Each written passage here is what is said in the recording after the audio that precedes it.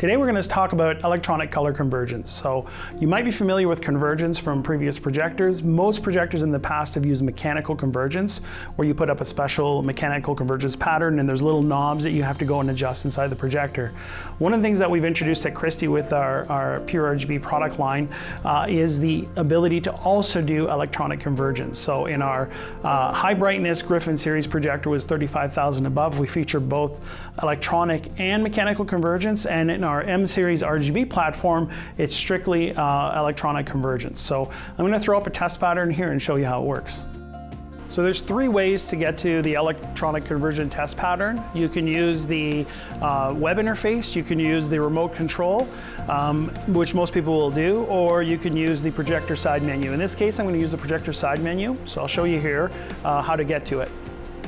So you scroll through um, in the test patterns until you find the one that says electronic color convergence. And once you've actually found that particular one, you select it and that will change the test pattern on your projector to the electronic color convergence test pattern. Now you'll notice on this test pattern there's some instructions. So on the right side of the screen it's telling you using your remote control within your hands, uh, here's how you basically select which corner, uh, which of the three colors you want to uh, correct. Um, so I, will start by explaining that. So if you look on the left side of the test pattern here, you'll notice that we have a, a red, a green, and a blue angled corner. This is an example, and we're explaining here that in order to have convergence was imagine you have three separate DMDs inside the projector. Uh, one is doing uh, red, green, and blue. You want to make sure that those are exactly on top of each other in order to get a nice crisp white color and nice focus. Um, so you can see the example of one, the, the red, the green, and the blue are quite off from each other. That's just an exaggerated example. So the first thing you would do is you would, in this case, we picked the red. We're, we're selecting the red and we're going to go ahead ahead and move it down to uh, the green. So you can see if you look at the section number two, there's now a blue line and a yellow line because it's the example is showing that you would have lowered the red to match up with the green and now you have yellow.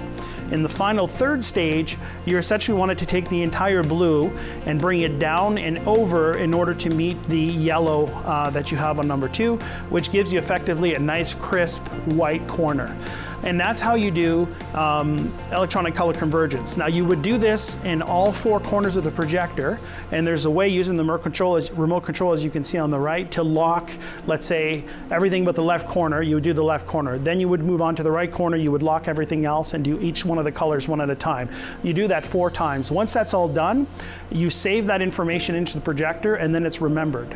The advantage of electronic convergence is you could be sitting there at the screen with a remote control in your hand and nudging it, uh, you know, uh, by pixels using the remote control and seeing it change right there in front of you. Whereas with the old mechanical convergence, you were doing it from uh, much further away typically and either having to have binoculars or going back and forth to see if your convergence, if you're going the right way in terms of improving it. The other advantage of being elect electronic color convergence is when you're actually shipping a product uh, with the mechanical convergence, there was a chance, depending on vibrations, that some, because it was hardware, that some of those things could move. Whereas electronic convergence, all of that is done electronically and there's no moving parts. So that's effectively how electronic convergence works.